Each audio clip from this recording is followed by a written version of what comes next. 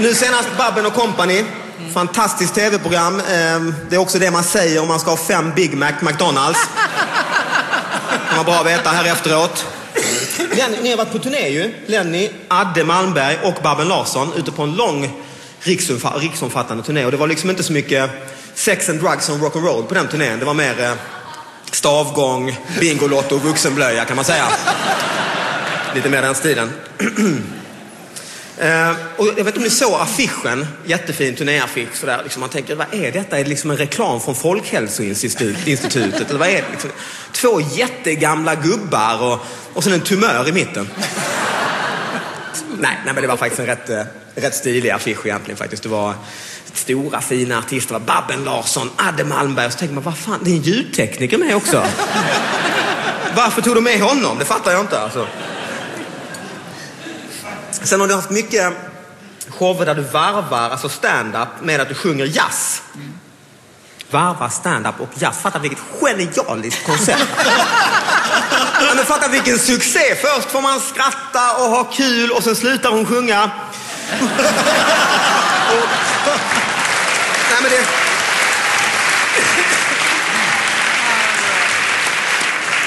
Nej, jag ska faktiskt summera lite och också koppla tillbaka till Gotland. För att för, för, för mig så är du är liksom Gotland, Babben. Du, är, du personifierar hela Gotland på något sätt. Du ser ut som Lummelundagrottan i käften.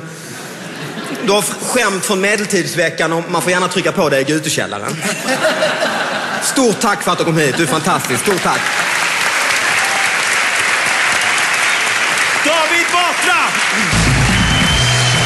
Efter pausen sitter ingen säker när Babben Larsson äntligen får ge tillbaka. Det ser ut som Dresden efter andra världskriget. Där kan ni föreställa er hur Petras underrede ser ut. Du kan vittna om det här Lenny, du var ju i Dresden precis.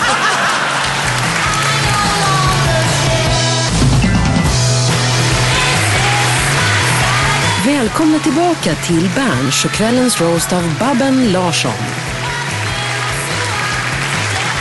Vi börjar närma oss slutet på programmet. Men ni vet vad man brukar säga, att eh, det är inte över förrän den feta tanten sjunger. Nu blir det Gotland runt! Här är Babben Larsson!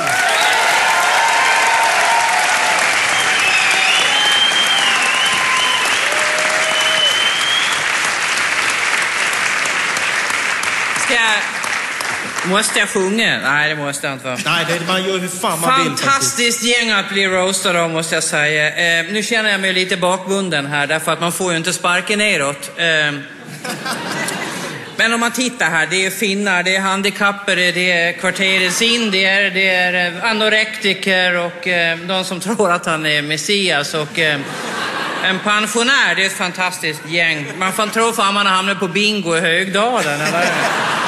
Helt otroligt. Helt otroligt.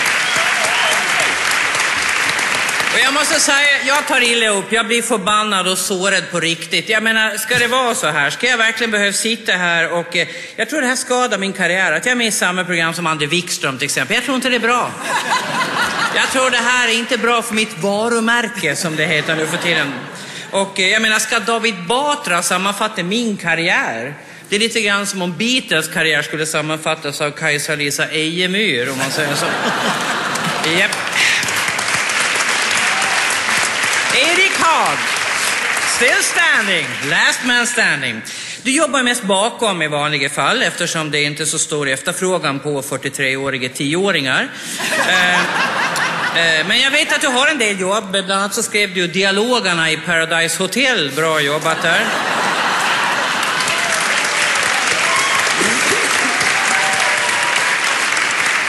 Det roliga med Erik det är att han liksom ser så jävla bekymrad ut när man pratar med Man ser hur det går liksom i 180 här uppe. Ja, kanske inte i 180 men i, i 45 i alla fall. Liksom så här. Oh shit, hon pratar med mig. Tänk om hon säger så här svåra ord. Ska jag göra då? Ja, det är inte lätt. Det är inte lätt faktiskt. Petra med en liten applåd, hon behöver det. Ja. Vet ni om att Petra har fått en egen talkshow i TV3? TV3, denna kvalitetskanal. Som har sett Christer Pettersson och Lavemangs SM. Men som nu helt har släppt på alla kvalitetskrav. Men du jobbade som guide förut i Stockholm och det är många som tycker att det fungerade bra. Ja, jag bara nämner det. Du kunde ha fortsatt med det. Men det är modigt att byta karriär mitt, mitt i så pass vuxen ålder som du ändå är. Att gå från att vara en framgångsrik sjukpensionär till att med vara en halvtaskig ståuppkomiker. Häftigt. Ehm, Men innan allt det här så var du ju en lovande dansare. Är det verkligen sant Peter att du var lovande? Har ni sett en dansare som går ner i spagat? Ja! Ja! Har ni sett vad de landar på för någonting? Där kan ni föreställa er hur Petras underrede ser ut.